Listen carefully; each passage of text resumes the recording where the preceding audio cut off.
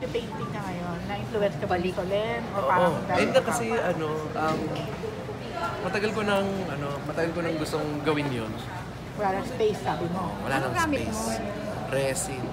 May napanood kasi ako na resin. Yung alam mo yung parang Gawa mo nga akong table. resin. Ang ganda Gawa ah. ng table. Parang plastic siya. Parang pa- liquid siya. Ah, so hindi siya acrylic, hindi mga ganon? Lik, yun, yung resin, lalagyan mo ng paint na acrylic. So, magiging may kulay siya. Tapos, ibubuhos-buhos mo ganun sa board. Tapos, ipapwesto-pwesto. Parang plastic siya. Tapos, pag natuyo siya, oh, lumen, nagle-level, yung pantay na ganun. Tapos, parang glossy, parang plastic. Ah, so sa, sa plastic ka in a way na ano? Sa, pwede Canvas. canvas, merong board na kahoy, ganun. Bakit yun ang type mo eh? Ang galing mo magfigura eh. Colorblind kasi ako eh. May, Ah. may ginawa kasi ako dati na ano, figure ng tao.